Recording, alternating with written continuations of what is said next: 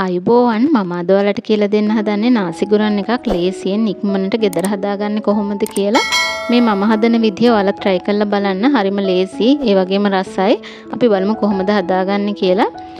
මුලින්ම මම චිකන් ටික සීසන් කරගන්නවා. චිකන් ග්‍රෑම් 200ක් මම අරගෙන තිනවා. ඒකට ලුණු ගම් මිරිස් කුඩු මිරිස් කුඩු සොයා සෝස් තේ හැඳි භාගි ගානේ දාලා මේ විදියට හොඳට මික්ස් කරගෙන පැත්තකින් අරන් තිනවා විනාඩි 20ක් විතර.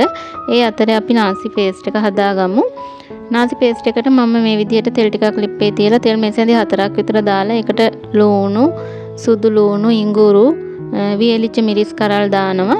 ඒත් එක්කම මම මේකට පාවිච්චි කරන්නේ ඉස්සෝ ඉස්සෝ හතරක් විතර චූටියට කපාගෙන තමයි මම මේකට එකතු කරන්නේ. ඔයාලට මේකට කූනිස්සු ගන්නත් පුළුවන්. කූනිස්සු ගන්නවා නම් මේ සැඳි දෙකක් විතර එකතු කරන්න. මම මේ ගන්න දේවල් වල ප්‍රමාණ වීඩියෝ එක පහලින් දාලා තියෙනවා. ඔයාලට චෙක් කරගන්න පුළුවන්. දැන් මම විනාඩියක් විතර ගියට පස්සේ මේකට එකතු කරනවා කෑලි මිරිස් පුරවපු මේස හැන්දක්, සෝයා සෝස් මේස හැන්දක්, තක්කලි සෝස් තේ හැන්දක්, සීනි තේ හැන්දක්, ලුණු චුට්ටක් දාලා හොඳට කලවම් කරනවා. මේ ඔක්කොම ටික එකතු කරලා විනාඩියක් විතර බෙදෙන්න ඇරලා මම ලිප ඕෆ් කරගෙන නිවෙන්න තියලා මේ විදියට වංගඩියක දාලා කොටා ගන්නවා පේස්ට් එකක් වෙනකන්. අපි මේ පේස්ට් එක තමයි නාසි පේස්ට් එක විදියට පාවිච්චි කරන්නේ අද.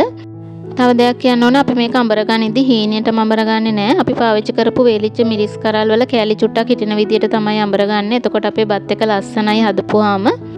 අපි දැන් බලමු සෝස් එක හදාගන්නේ කොහොමද කියලා. මම මේ විදිහට සොයා සෝස් මේසෙන්දි හතරක් දාගන්නවා බෝල් එකකට. ඒකටම තක්කලි සෝස් මේසෙන්දි දෙකයි, ගම්බිරිස් කුඩු තේ හැඳි භාගයයි, සීනි තේ හැඳයි දාලා හොඳට මික්ස් කරගන්නවා. මේ විදිහට හොඳට මික්ස් කරගන්න ඕනේ මේක සීනි ටික දිය වෙනකන්. දැන් අපේ සෝස් එක හරි. මම දැන් මේක පැත්තකින් තියලා අපේ නාසි එක හදාගන්නයි යන්නේ. අපි බලමු කොහොමද හදාගන්නේ කියලා. භාජනයක් ලිපේ තියලා මුලින්ම ඒකට මම දාගන්නවා පොල් තෙල්. පොල් තෙල් මේ සැරේ දෙකක් විතර දාගත්තා මම. ඊට පස්සේ ඒකට චිකන් ටික දාලා හොඳට බැද ගන්නවා. රන්වන් පාට වෙනකම් බැද ගන්න ඕනේ. මම දැන් චිකන් ටික චුට්ටක් මේ විදිහට පැත්තකට කරලා තලාගත් ඉඟුරු සුදු ලුණු ටිකයි ලුණු ටිකයි එකතු කරනවා. ඒ ටික එකතු කරලා හොඳට මික්ස් කරගන්න ඕනේ. තප්පර 30ක් විතර මේ විදිහට හොඳට මික්ස් කරගත්තට පස්සේ මම මේකට එකතු කරනවා කැරට් ටික. කැරට් ටික එකතු කරලා මේ විදිහට කලවම් කරගෙන මම මේකට ලුණු ටිකක් මදි කියලා හිතන නිසා ලුණු තේන්දි කාලක් විතර එකතු කළා. ලුණු දාලා හොඳට කලවම් කරලා මම මේකට බිත්තරයක් කඩලා දානවා. බිත්තරේ ටිකක් බැදීගෙන එනකොට ස්පැචුලා එකෙන්ම කෑලි කඩාගෙන ඔක්කොමත් එක්ක එකට මික්ස් කරගන්න ඕනේ. දැන් මම මේ එකතු කරන්නේ නාසි පේස්ට් එක. අපි හදාගත්ත නාසි පේස්ට් ඔක්කොම මම මේකට පාවිච්චි කරනවා. මම නාසි පේස්ට් එක හදද්දි කෑලි මිරිස් මෙසේ හැන්දයි පාවිච්චි කරේ. ඔයා ගොඩාක් සැරට කන්න කැමති කෙනෙක් නම් ඒ වෙලාවේදී කෑලි මිරිස් මෙසේ හැන්දි දෙකක් එකතු කරගන්න පුළුවන්. දැන් මම ලිපේ ගින්දර ගොඩාක් අඩු කරගෙන සෝස් එක එකතු කරගන්නවා.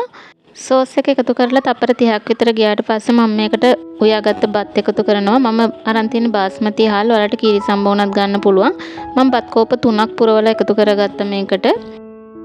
ලිපේ ගින්දර ටිකක් අඩු කරලා මේ විදිහට හොඳට මික්ස් කරගන්න ඕනේ. අපි දැන් බලමු නාසිකුරන් එකක් සර්ව් කරන්න කොහොමද කියලා. මම බෝල් එකකට බත් පුරවලා ප්ලේට් එකෙන් මේ විදිහට තියාගන්නවා පොඩි කාලේ කෝම් පිට්ටු හැදුවා වගේ. ඔයාලට බෝල් එකක් නැත්නම් ප්ලේට් එකට බත් ටිකක් දාලා අතින් උනා ෂේප් කරගන්න පුළුවන්.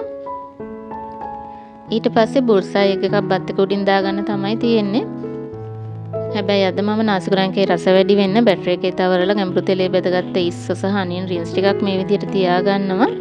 මේ වගේ අන්නාසි කෑල්ලකුත් එක්ක මේ රයිස් එක කනකොට හරිම රසයි. ඔයාලා try කරලා බලන්න. හැමදාම කඩෙන් ගෙනත් නාසිකුරන් එකක් කනවට වැඩිය වෙනසකටත් එක්ක ගෙදර හදලා බලන්න. ගෙදර අයත් සතුටු වෙයි. ඉතින් ඔයාලා මගේ අද මේ වීඩියෝ එකට කැමති නම් ලයික් කරන්න, කමෙන්ට් කරන්න, යාළුවොත් එක්ක ෂෙයා කරගන්න. මගේ channel එක subscribe කරලා ඊළඟ තියෙන පුංචි සීනුවත් ක්ලික් කරන්න අමතක කරන්න එපා. ආයෙත් මේ වගේ රසම රස රෙසිපි එකකින් ඔයාලව හමු වෙන්න එනකන් සුබ දවසක් ඔයාලට.